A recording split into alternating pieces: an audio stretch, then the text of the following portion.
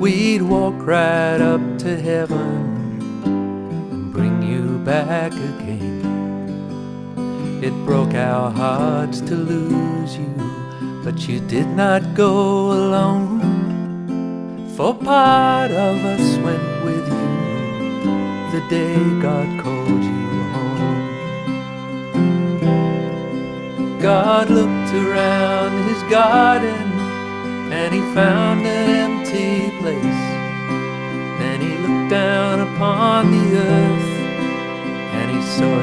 precious face.